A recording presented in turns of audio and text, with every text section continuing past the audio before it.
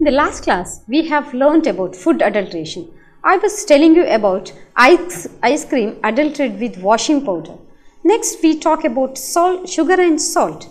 So, I was telling sugar is added with chalk powder and it is made white, more and more white so that people will get attracted. So, in, when you compare a brown colored sugar and a white colored sugar, obviously we will go for a white colored one but nobody will think how it is it has come so white from a brown color sugar.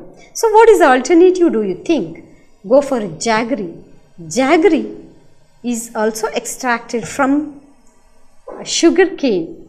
The jaggeries are available in powder form or thick uh, syrups like uh, which is kept in the bottle. So go for it. Don't take too much of sugar. Sugar is also not good for our health.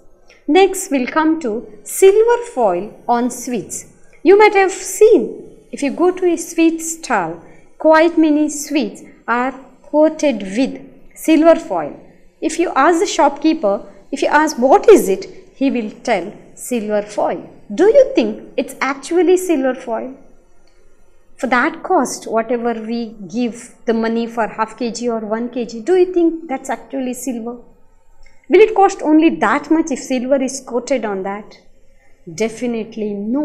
Silver coated sweets are very very expensive because silver is a very expensive material which has to be used in food means you just think. So what is it on that? It is the aluminium foil thin foil they will coat on sweets. Another one is being used is animal fat. You believe it or not, animal fat is spread over sweets as a thin film which appears as though it is silver foil. But it is not all the sweet stalls do it. Maybe few sweet stalls they use real silver thin film on sweets which may be expensive. What do we see when we go to a shop? We ask what is the cost. So we will go for a cheaper one. So what is this adulteration resulting in? More quantity but economically less. So we work out and calculate which is good. We normally it's obvious that we go for a cheaper one but we don't about, think about the adulterants found in it. Red chili powder. Hope you might have seen in your mother's kitchen chili powders. Red, red, bright red chili powders. So do you think that is the original color of the chili powder? No. Rhodamine. Is it dye? It's a chemical compound is being added to the chili powder and brick powder. If you powder the bricks, it appears as though it is chili powder. So, a half a kg if you add if you add brick powder to 10 kgs of chili powder, can you recognize? No, you think it is a chili powder and we eat it. Next one is a turmeric powder. To the turmeric powder, people add metanil yellow. Metanil yellow is again a chemical dye, synthetic dye. To make it bright yellow, metallic yellow is added. Next, honey. You might have seen honey advertisements. Quite many advertisements come on TVs about honey. What is being added to honey? To make it sweet, water is being added to the original honey and sugar. Sugar is also being added. Along with sugar, one more item being added is jaggery. They add this to honey. You may think how to find out whether these things are adulterated. Very easy in the case of honey. You can take one glass of water, add honey to it. If it is original and not adulterated means the drop of honey whatever you added just goes like that into the bottom and settles in the bottom. But what about the adulterated honey? The moment you add one drop of adulterated honey to water, it spreads immediately in the water. that's 100% sure that it is adulterated. And the original honey, has such a thick drop, it goes and settles down in the bottom. Like that, we have all the tests for testing. It may be chili powder, it, it may be sugar, it may be turmeric powder. We have every test to test to check whether it is adulterate or not. Coffee. We all know coffee tastes very good, very nice. If you are having coffee when you are having a headache, the headache goes because caffeine which is present in coffee is, is a central nervous system stimulant. But does the coffee powder contains only coffee powder? No. Chicory is added to it. Nowadays, the government has given permission to add chicory up to 40%. Chicory is not good for health. Next, tea. Let us come to tea. Whatever the tea we drink daily. Colored leaves. Tea powder, tea leaves are colored, green color. The same colored powder if you add, can you make out? No, we cannot. And used tea powders. For example, we drink green tea, that is leaves of tree plant. If you use it for green tea, after filtering it, you get the leaves back. Dry it, again add to the tea powder. Can you make it? No, definitely no.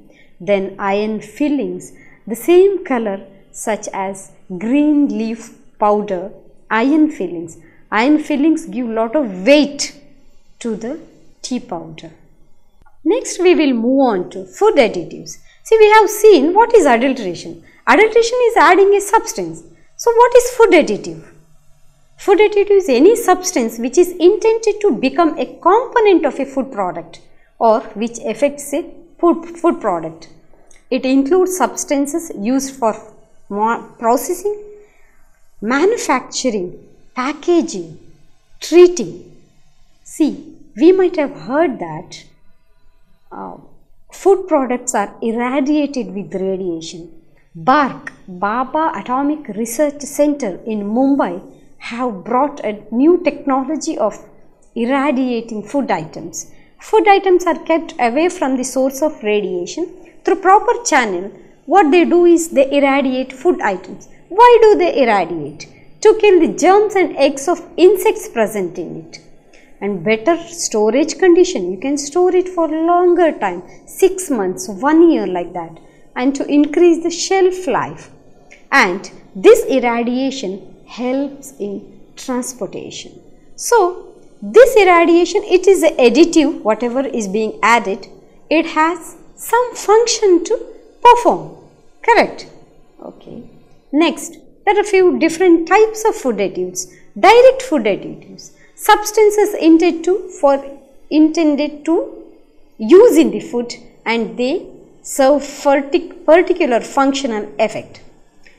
And next one is indirect food additives. Substances which become part of food item from processing, packaging or manufacturing. They become a part of the food. May not be required, but they become. Next we will move on to addition accidental food additives. We will move on to accidental food additives. What is accidental food additive? Substances which are accidentally get into food items. They actually are not considered to be food additives because they got into the food item accidentally. But they are considered as food additives or adulterants when they render injurious to health when they become injurious to health. I'll give, just give one example. An employee knocks a box of cleaning solution into a food item. Is it adulteration? No, but what is it? It fell into the food item accidentally. Obviously, the cleaning solution will give, will affect our health. Correct? So, just think it over. It's a question to you. Next, let us move on to the food versus food additive. We have seen what is food in your previous classes. Food we are required to take for our normal functioning of the body. So, food is a broad term that includes food components and raw materials. No pre-market approval is required for foods because we daily consume it. When a food becomes a food additive, because as it is used as a component in another food, we call it as food additive. Food additives require pre-market approval, whereas food does not. Next, we will summarize our today's class as adulteration summary. So, what is adulteration? We have defined it in the beginning. So, in terms of health, potential for harm and reduction in economic value. So, adulterated food, foods may be less expensive, but they are harmful to our health. So, standard is a measure of harm. In the case of adulteration, the measure of harm. They may be injurious to our health, unsafe. So we have to protect the public health by not adultering our food. Next, the presence of unapproved food additive.